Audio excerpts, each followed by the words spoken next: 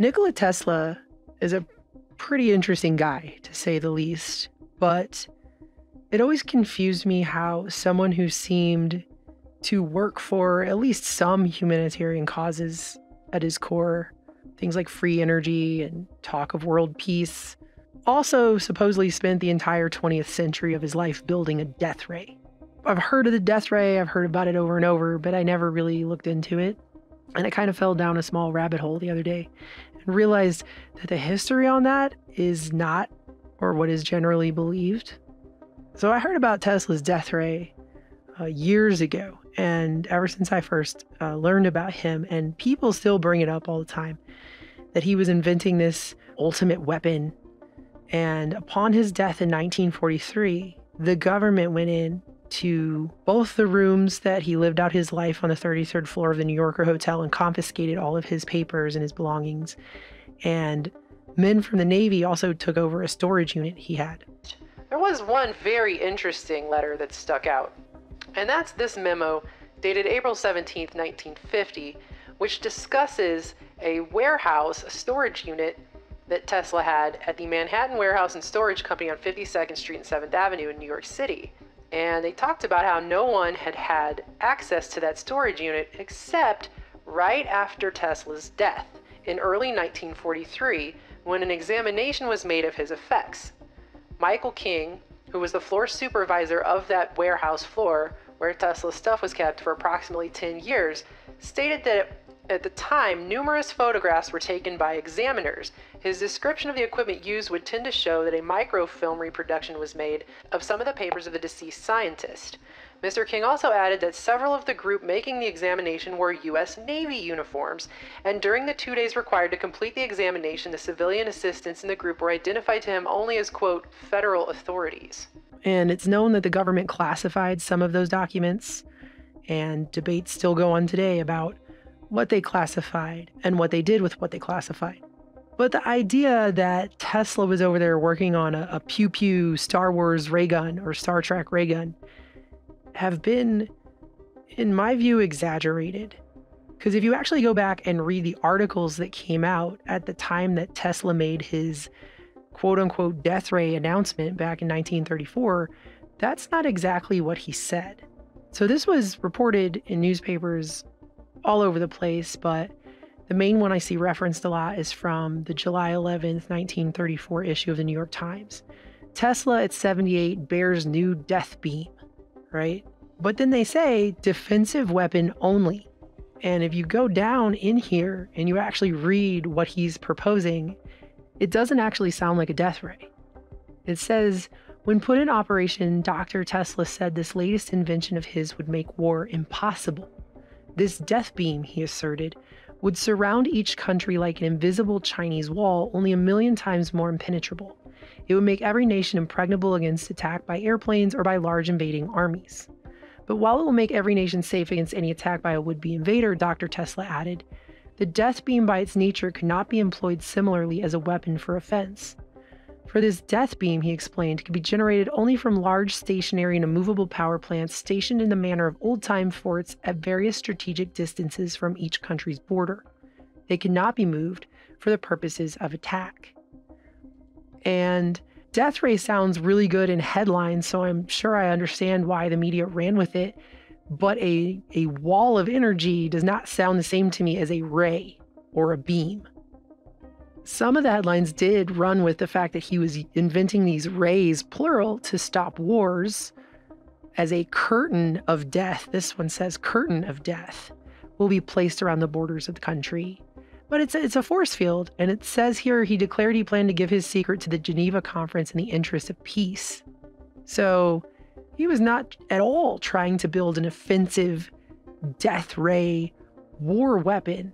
He's talking about an electronic or electric force field of particles, right? Not it's not the same. That's not the same as a death beam. And I guess it is technically, but it's also not. Because when you say death ray, I'm going to go ahead and guess nine times out of 10, most people's brains automatically think of like the pew pew gun with like a beam of light coming out of it. That's just not what he was saying. So this is more like a force field, not a death ray.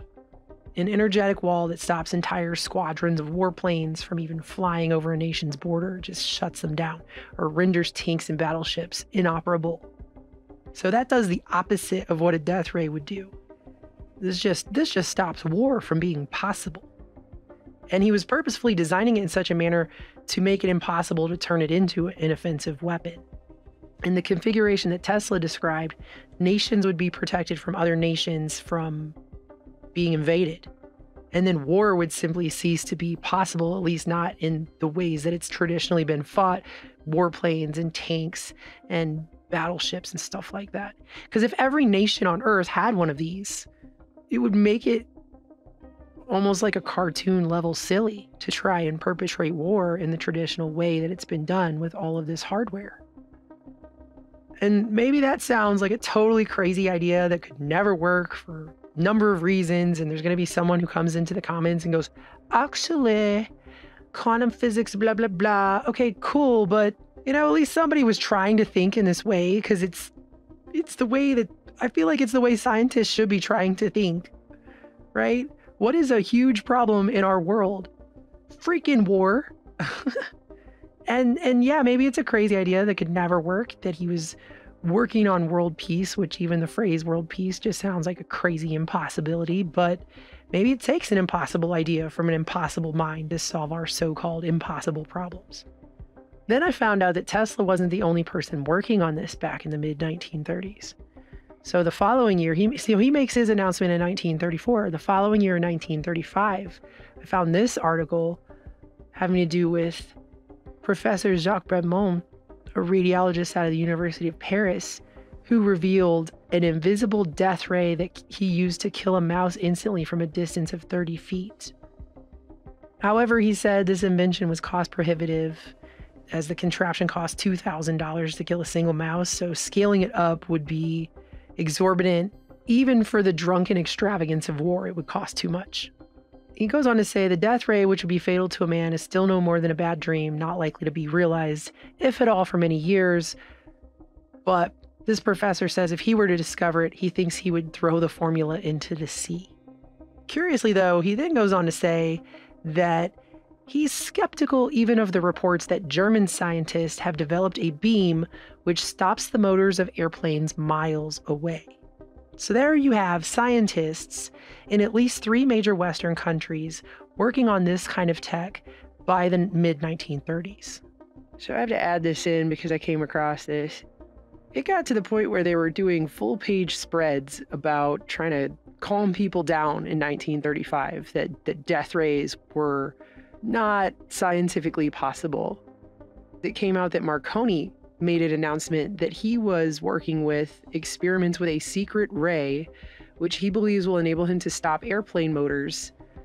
But further proving my point about Tesla not making such a ray, specifically in this same article, they interviewed Tesla about this claim Turning to Marconi's claim, Dr. Tesla said such a ray would be difficult to operate effectively and that protection against such a ray would be easily contrived. Now, the transmission of such rays is greatly handicapped by the small amount of energy available. Assuming that a plane is six miles distant, the ray to reach it would cover an area of 1 billion square centimeters, so that energy per centimeter available for interference is very trifling. However, if it were true that a ray of sufficient power could be sent such a distance, a remedy could easily be devised making the ray harmless. And what would the remedy be? He was asked. An efficient copper screening not of the whole motor, but of vulnerable, vulnerable parts. It would also be easy to change to ignition systems of different principles, he added. Diesel motors would be another remedy. So clearly, whatever Tesla was working on was not this type of ray, it was something else because here he is in August of 1935, a year after he made his announcement, debunking Marconi's announcement of having experimented with a secret ray to stop motors. And that's only what I was able to find. I'm sure if I dig into that, just that, even further, I will probably find more. I I think the point is proven, however, that that is clearly something that they were all working on. I mean, every time one nation or scientists in a nation announce they're working on some type of technology, competing countries also begin racing to develop the same thing. I mean, that's just the way it's been done for a very long time. So Tesla's announcement to the press in 1934 surely would have set off such a chain reaction with that tech if it wasn't going on already by that point.